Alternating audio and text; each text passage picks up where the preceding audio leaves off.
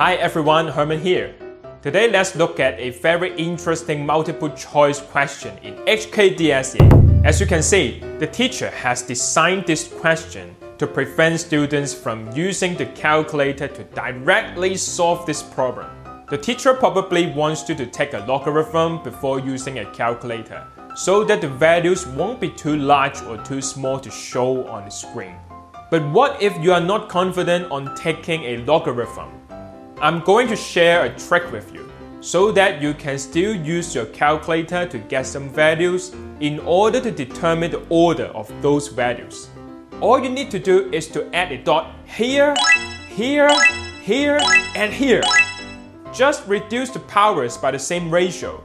You don't need to know anything about logarithm. Now the values can be displayed on your calculator screen. Thanks for watching. If you support my English teaching series, please give me a like, subscribe to my channel, and share my videos to your friends. If you want to sponsor my education project on YouTube, you can click the Super Thanks button as well.